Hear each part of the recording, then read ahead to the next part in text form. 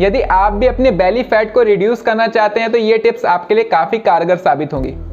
Number one आपको sugar वाले item जो है, वह आज से ही अवॉइड कर देने हैं। शुगर वाले आइटम आप इनटेक नहीं करेंगे। नंबर टू आपको पर डे अपनी कैलोरीज को मेंटेन करना है। यदि आपने एक दिन डाइट ली है, उसमें आपने 2000 कैलोरीज इनटेक की है तो आपको अगले दिन 2000 से ज़्यादा कैलोरीज इनटेक नहीं करना है, आपको 2000 से कम करना है, ठीक है? आपको अगले दिन पूरे दिन के हिसाब से जो आपने 2000 कैलोरीज इंटेक की है, अगले दिन आपको उससे कम इंटेक करनी है कैलोरीज ठीक है? नंबर थ्री आज से ही जंक फ़ूड ऑयली फ़ूड और प्रोसेस्ड फ़ूड को अवॉइड कर दीजिए। इससे होता यह है कि एक तो ज़्यादा कैलोरीज इंटेक होती है और डर्टी फैट आपकी बॉडी में जमा होने लगता है तो आपको अवॉइड इसे ज़रूर करना है।